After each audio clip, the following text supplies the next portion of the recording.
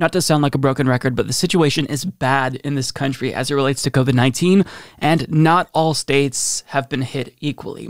In some states, you have governors who are seemingly on the side of the virus, doing everything in their power to continue the spread of this deadly disease. You have individuals like Ron DeSantis and Greg Abbott of Texas who are trying to ban mask mandates and make sure that whatever little tools we have at our disposal to combat the spread of the virus, they're trying to stop that.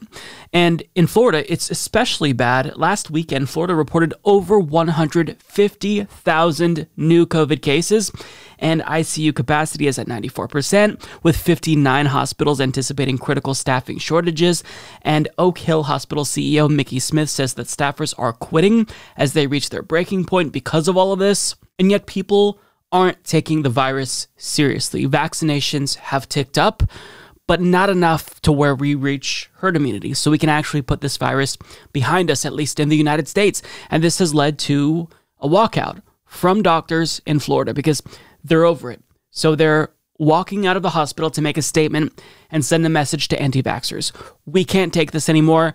Get vaccinated. We are begging you. So, as Mary Papenfuss of HuffPost reports, about 75 frustrated doctors staged a pre sunrise walkout on Monday from several southern Florida hospitals to call out people who are refusing to be vaccinated against COVID 19 and are overwhelming the healthcare system, making their work nearly unendurable.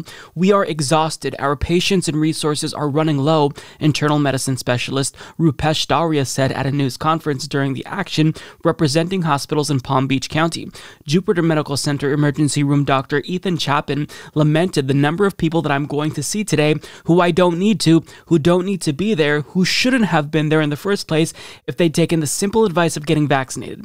Chapin added, All we're asking is, in the same way you trusted us to take care of you, your family, your friends, trust us now in what we're telling you. The vaccine is safe and it can save your life. Infectious disease specialist Leslie Diaz emphasized the science is there, the clinical trials are in abundance, and we must stop denying the data. The vaccine still remains the most effective and reliable way to stop this madness. And WPTV, which is a local news affiliate in Florida, covered the walkout, and here's a quick clip of what some of the doctors had to say.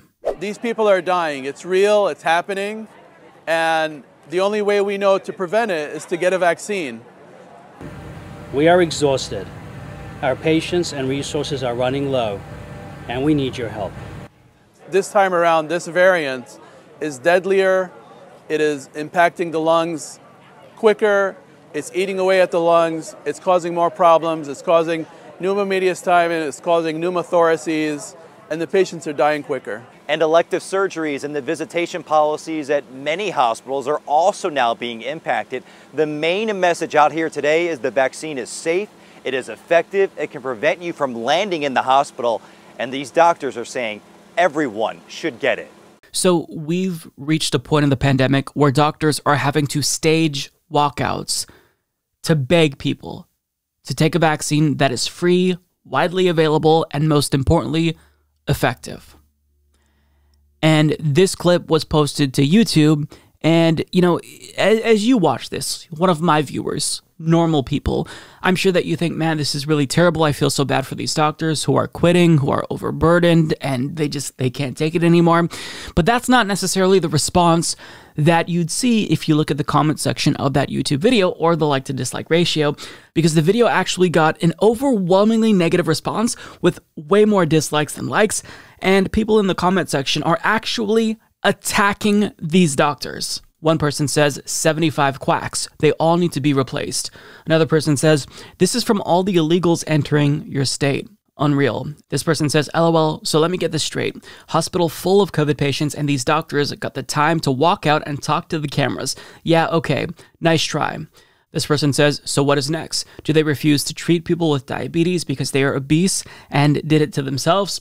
This person says, Let them all go. Good, let them all quit, and watch how fast the man made Chinese bat virus poll goes down. And finally, always footage of doctors and empty beds, but never footage of actual patients. Hmm, interesting. Now, just to reiterate, this is the response that people had when they saw a video where doctors were begging and pleading with folks to get vaccinated because they're overburdened. That's the response. what do you even say to that? They laughed at these doctors rather than trying to feel any shred of sympathy and try to see where the doctors are coming from. They get more conspiratorial and they attack these doctors. And there's a lot more comments that I didn't show to you, but I mean, you pretty much get the point. Nothing will get through to them. It doesn't matter if doctors come out and they beg people to get vaccinated because they can't take any more people in these hospitals because they're filled up and they're stressed out. They're seeing people die when now we're at a state of the pandemic where we have a vaccine. This is all preventable. If everyone was vaccinated, yes, COVID 19 would still be spreading. Having said that, though, hospitals would not be filling up. It would not be as bad as it is if everyone got vaccinated. But yet, people think that the doctors are in on this vast conspiracy. It's, it's just truly like these are bizarre times that we're living in, where in 2021, we have to convince people that modern medicine is safe and effective. And even after we have an abundance of evidence, even seeing doctors beg and plead with them, they refuse to take them seriously, even laugh at them in the comment section.